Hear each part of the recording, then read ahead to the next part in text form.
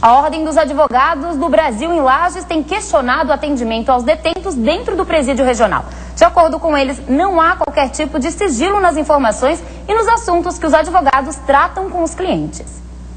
Segundo o presidente da Ordem dos Advogados do Brasil em Lages, as normas previstas no estatuto que rege a classe têm sido desrespeitadas e os advogados têm enfrentado grandes dificuldades na hora de prestar o atendimento aos clientes dentro do presídio. Hoje os advogados não têm a condição de entregar uma procuração sequer ao seu cliente dentro do presídio sem que um funcionário pegue esse documento ou qualquer outro e leve até o preso.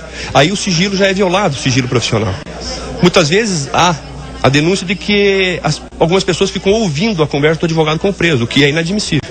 O advogado tem o direito de conversar com o preso em local sigiloso, porque a Constituição e o Estatuto da Ordem é, prevêem isso. O atendimento do advogado ao detento no presídio masculino no bairro Santa Clara é feito no parlatório. Na sala monitorada por câmeras, o contato é feito somente pelo interfone. Os buracos no vidro foram tampados com acrílicos para garantir uma maior segurança. No final do ano passado, o DEAP assumiu a administração do presídio regional de Lages. Há quase 40 anos, a visita aqui era feita sobre outra forma de regimento. Mas com a implantação da cabine blindada, que deve ocorrer em várias penitenciárias do estado, o sistema aqui também deve mudar. Segundo o diretor, não há restrições com relação às visitas dos advogados que podem ser feitas a qualquer hora. O que ocorre é um sistema de regimento interno que garante a segurança não só de quem visita, mas também de quem permanece lá dentro.